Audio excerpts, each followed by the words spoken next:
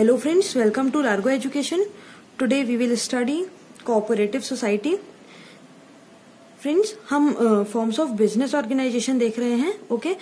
जिसमें हम लोगों ने अभी तक sole proprietorship partnership and HUF के बारे में देखा इस पर्टिकुलर वीडियो में हम कोऑपरेटिव सोसाइटी के बारे में देखेंगे सी नेम से ही सजेस्ट हो रहा है कि कॉरपोरेशन से रिलेटेड होगा ओके सो फ्रेंड्स आप बिल्कुल सही समझ रहे हैं, ये कॉरपोरेशन से ही रिलेटेड है। यहाँ पास मैंने कुछ वर्ड्स लिख कर रखे हैं, उनके बारे में हम देखते हैं तो हमें ये और क्लियर हो जाएगा ओके फ़र्स्ट पॉइंट में है working together plus common purpose plus एसोसिए voluntary association plus welfare motive okay working together friends cooperative society means corporation okay इसमें पीपल एक दूसरे को कोऑपरेट करके वर्क करते हैं okay second is common purpose okay common purpose mean सबका एक ही purpose होता है कि हमें वेलफेयर प्रोवाइड करना है ओके okay? इसमें uh, इनका ये पर्पस नहीं होता कि हमें प्रॉफिट अर्न करना है।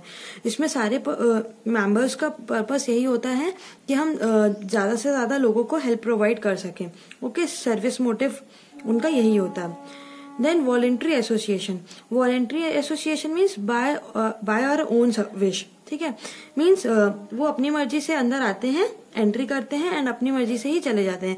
बस उन्हें एक नोटिस देनी होती है जब वो जाते हैं लीव कर रहे होते हैं सोसाइटी को तो बस उन्हें एक नोटिस देनी होती है एंड देन वे देन वो लीव कर सकते हैं। Okay and then welfare motive welfare motive means इनका uh, सिर्फ़ मोटिव uh, यही होता है कि लोगों को वेलफेयर करें। मतलब वेलफेयर होता है मतलब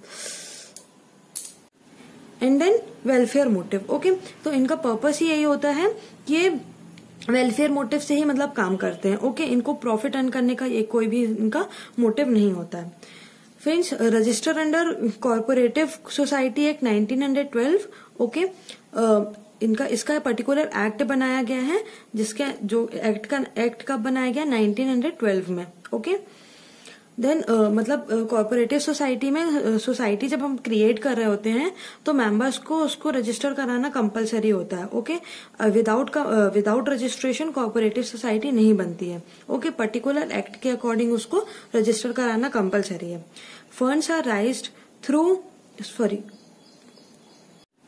and then welfare motive okay तो इनका पर्पस ही यही होता है कि वेलफेयर मोटिव से ही मतलब काम करते हैं ओके, इनको प्रॉफिट अर्न करने का ये कोई भी इनका मोटिव नहीं होता है friends, register under corporative society act 1912 okay इनका, इसका पर्टिकुलर एक्ट बनाया गया है, जिसके, जो एक्ट का एक्ट कब बनाया गया 1912 में, okay okay?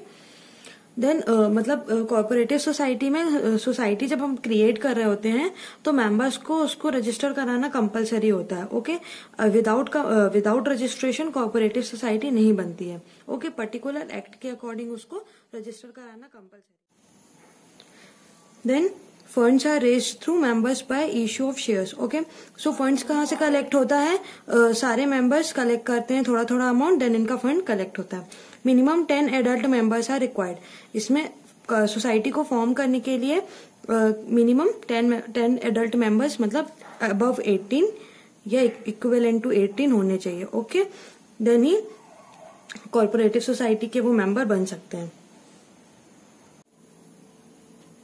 Now we study features of corporative society okay first point is voluntary membership as we discussed earlier free to join and free to leave okay इसमें मेंबर्स कभी भी ज्वाइन कर सकते हैं एंड कभी भी लीव कर सकते हैं।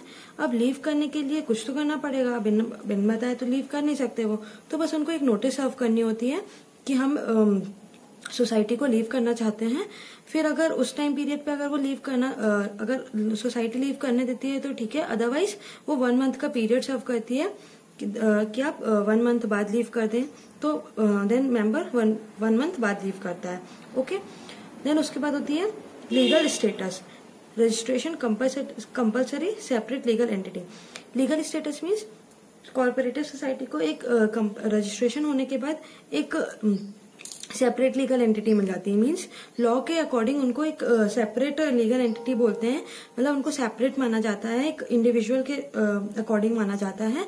जैसे कि वो कुछ भी अगर uh, कुछ भी अगर उनको uh, कुछ भी अगर उनको डिसीजंस लेने होते हैं तो वो खुद ही ले ले सकता है। फिर उसको लॉ के अकॉर्डिंग लॉ के पास जाके वो डिसीजंस को नहीं लेने होते हैं। ओके सो इसमें सेपरेट लीगल एंटिटी होती है।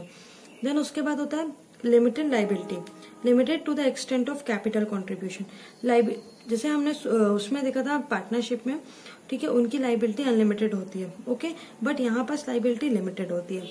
अगर मैं टेन थाउज़ेंड रुपीज़ लेके कॉन्ट्रीब्यूट कर रही हूँ तो मुझे सिर्फ़ टेन थाउज़ेंड तक की ही लाइबिलिटी पे ऑफ़ करनी होगी ओके ऐसा नहीं कि अगर मेरी सोसाइटी उसमें क्या बोलते हैं लोन या फिर किसी चीज़ में जा रही है है ना डेप्थ में जा रही है बेड डेप्थ में तो ऐसा नहीं कि मुझे पे करना होगा, ऐसा नहीं है। ओके इसमें कोई भी इंडिविजुअल को कंपलसरी पे नहीं करना पड़ता है, इसमें सोसाइटी ही पे करती है ओके मेंबर्स की हमेशा लिमिटेड लाइबिलिटी होती है। वो एक एक्सटेंट तक ही मतलब वो जितना कैपिटल कॉन्ट्रीब्यूट कर रहे हैं, उसी एक्सटेंट तक ही उनको लाइबिलिटी पे करनी होती है okay then control decision elected managing committee okay इसमें मेंबर्स के अकॉर्डिंग एक इलेक्टेड मैनेजिंग कमेटी बॉडी बनाई जाती है जिसके थ्रू वो इलेक्टेड मैनेजिंग बॉडी जो रहती है मीन्स एक पर्सन को वो इलेक्ट करते हैं ग्रुप ऑफ़ पीपल एक साथ बैठते हैं देन वो डिसीजंस uh, लेते हैं एंड देन फिर वो एक मैनेजिंग uh, कमेटी को इलेक्ट करते हैं एक इंडिविजुअल पर्सन को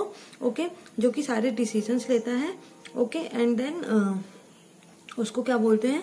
इलेक्टेड मैनेजिंग कमेटी ओके ये डेमोक्रेटिक होता है okay then service motive mutual help okay इसमें क्या होता है? इनका uh, इनका सर्विस मोटिव होता है इनको प्रॉफिट कमाने का उतना वो नहीं होता ओके ये प्रॉफिट कमाने के एम से नहीं जाते हैं एंटर करते हैं सोसाइटी में ये सर्विस मोटिव के एम से ज्वाइन करते हैं ओके इसमें म्यूचुअल हेल्प मीन्स सारे लोग मिलकर काम करते हैं एंड देन सर्विस प्रोवाइड करते हैं। Now we see marriage and demerits of cooperative society. So friends, हम advantages of corporative society discuss करेंगे first point is equality in voting status okay so इसमें वन पर्सन वन वोट होता है okay okay, एक person को सिर्फ़ एक ही vote मिलता है इसमें uh, सारे पर्सन को इक्वल राइट right होता है ओके okay? ऐसा नहीं कि जिसने ज़्यादा कैपिटल कंट्रीब्यूट की है तो उसको ज़्यादा वोटिंग राइट्स हो गए या फिर उसको ज़्यादा राइट्स होंगे, ऐसा नहीं है। सारे पर्सन जितने भी मेंबर्स होते हैं, सबको इक्वल राइट्स होता है। इक्वल राइट होते हैं okay then second is limited liability features में भी मैंने आपको बताया था कि लाइबिलिटी इसमें लिमिटेड होती है। जो भी मेंबर्स होते हैं, उनको खुद के एसेट सेल आउट करके कभी भी पे ऑफ़ डेप्थ को पे ऑफ़ नहीं करना होता है ओके कोऑपरेटिव सोसाइटी ही समटाइम्स uh, अपने पर्सनल असेट्स सेल ऑफ़ करके बेड डेप्थ को पे करती है ओके बट मेंबर्स को कभी भी डेप्थ को पे ऑफ़ करना नहीं होता है इसलिए इनकी लाइबिलिटी यहाँ लिमिटेड होती है और जो कि इसका ये एडवांटेजेस एडवांटेज है okay then stable existence means इसमें स्टेबल एग्जिस्टेंस होता है। मीन्स किसी कॉर्पोरेटिव सोसाइटी जल्दी से बंद नहीं होती है ओके इसकी कंटिन्यूटी चलती रहती है। किसी के मरने से मतलब डेथ हो जाने से बैंक करप्ट हो जाने से, इसमें कोई भी इफ़ेक्ट नहीं पड़ता ओके तो ये हमेशा स्टेबल होती है। मेंबर्स आते हैं, जाते हैं ओके बट ये कभी भी एग्जिट नहीं करती। Then economy in operation reduce middleman wastage okay so इसमें क्या होता है? इकोनॉमी इन ऑपरेशन मीन्स इसमें जो जितने भी मिडिल मैन होते हैं, इनको ये रिड्यूस कर देता है, खत्म कर देता है बिल्कुल। हाँ तो इसके कारण क्या होता है कि जो भी कॉस्ट होती है, वो रिड्यूस हो जाती है। कोई भी प्रोडक्ट है, उसमें मिडिल मैन को अगर हम हटा देंगे तो उसकी जो कॉस्ट है, वो कम हो जाएगी ऑटोमेटिक ओके क्योंकि उसमें वो प्रॉफिट एड नहीं होगा। तो कॉस्ट क्या होगी? कम होगी। तो इसलिए ये इकोनॉमी इन ऑपरेशन होता है। तो ये इसका एक एडवांटेज है। Okay then support of government इसमें क्या होता है सपोर्ट ऑफ़ गवर्नमेंट मीन्स ये पब्लिक वेलफेयर के लिए काम करती है इसलिए इसमें फुल सपोर्ट होता है गवर्नमेंट का। सो so, इसमें टैक्सेस भी बहुत कम रेट पे लगते हैं ओके okay? देन उसके बाद सब्सिडीज गवर्नमेंट प्रोवाइड करती रहती है टाइम टू टाइम देन उसके बाद अगर इनको कभी लोन होना लोन लेना होता है तब भी गवर्नमेंट क्या? कम इंटरेस्ट में इनको लोन प्रोवाइड करती है okay then last point is ease of formation इसमें इसका फॉर्मेशन कोई भी डिफ़िकल्ट नहीं होता है ओके सिंपल लीगल फॉर्मेलिटीज को फॉलो करके ten adult members adult means जो अब एटीन या इक्वल टू एटीन है ओके वो इसमें ज्वाइन करते हैं एंड देन ये फॉर्म फॉर्म हो जाती है। देन अब let's discuss disadvantages of corporative society so friends disadvantages of corporative society first होता है लिमिटेड रिसोर्सेज ओके कैपिटल बहुत by members okay limited resources क्या होते हैं? क्योंकि मेंबर्स ही कैपिटल को कलेक्ट करते हैं ओके एंड टेन मेंबर्स होते हैं जो वो थोड़ा थोड़ा कैपिटल्स को कलेक्ट करके देन उसके बाद फिर वो रिसोर्सेज जनरेट करते हैं। इसलिए क्या होता है कि लिमिट रिसोर्सेज हमेशा लिमिटेड होते हैं okay and then low rate of return इनको उतना रिटर्न भी नहीं मिलता है कि मतलब हमने कैपिटल ज़्यादा कंट्रीब्यूट uh, कर दी बट हमें प्रॉफिट तो मिलना ही बहुत कम है। इसलिए पीपल क्या करते हैं कि कैपिटल uh, हमेशा कम ही कंट्रीब्यूट करते हैं। तो इसका इसलिए एक डिसएडवांटेज है ओके देन सेकेंड है in in inefficiency in management unable to attract expert managers okay inefficiency in management means क्योंकि इनके पास इतना पैसा नहीं होता है कि ये अच्छे एक्सपर्ट मैनेजर्स को हायर कर सकें ओके और वो इतना हाई हाई पे सैलरी भी नहीं कर सकते हैं। इसलिए क्या होता है कि ये इनका जो मैनेजमेंट है, वो इतना इफिशियंसी नहीं होता इफिशियंट नहीं होता ओके अब ये मेंबर्स कहाँ से इलेक्ट करते हैं? टेन मेंबर्स के बीच से इलेक्ट करते हैं तो वो मेंबर्स भी उतने इफिशियंट नहीं होते। इसलिए कई बार क्या होता है कि इसको, इस चीज़ में भी उनको डिसएडवांटेज होता है। Okay then lack of secrecy okay disclose obligation as per act इनको सारे ऑब्लिगे इनको सारे ही ऑब्लिगेशन डिस्क्लोज करने होते हैं। मीन्स इनको सारे ही अकाउंट अपने सारे मेंबर्स की इन्फॉर्मेशन हर एक चीज़ गवर्नमेंट के गवर्नमेंट को डिस्क्लोज करनी होती है। तो इसमें क्या होता है? सीक्रेसी मेंटेन करना इम्पॉसिबल हो जाता है। तो इसलिए ये भी एक इसका डिसएडवांटेज है। ओके देन गवर्नमेंट कंट्रोल इसमें क्या होता है, पूरा गवर्नमेंट का सपोर्ट होता है। अब गवर्नमेंट आपको इतने सारे बेनिफिट्स प्रोवाइड करती है लाइक टैक्सेशन आपका लो रखती है लोन आपको कम इंटरेस्ट में प्रोवाइड करती है। ओके तो गवर्नमेंट भी है, आपसे एक्सेप्ट करेगी कि आप भी उनको कुछ दें, है ना? तो इसलिए कॉर्पोरेटिव सोसाइटी में इनको रिटर्न करना पड़ता है कुछ ना कुछ। ओके गवर्नमेंट को कुछ ना कुछ प्रॉफिट दिलाना पड़ता है। एंड देन इसीलिए गवर्नमेंट भी इनके ऊपर कई बार बहुत सारे रूल्स भी वो कर देता है इम्प्लीमेंट करता है। ओके सो so, ये भी एक इसका डिसएडवांटेज है. देन डिफरेंस ऑफ़ ओपिनियन अब अलग अलग जगह से पीपल आते हैं ओके okay, तो उनके बीच में फाइट भी हो सकती है क्योंकि सबके ओपिनियन एक जैसे नहीं होते ओके okay, तो इस कारण भी कई बार बिज़नेस में इन्फ्लुएंस आता है ओके okay, जिसके कारण कॉपरेटिव सोसाइटी में डिसएडवांटेज हो जाता है ओके तो ये भी इसका एक डिसएडवांटेज है.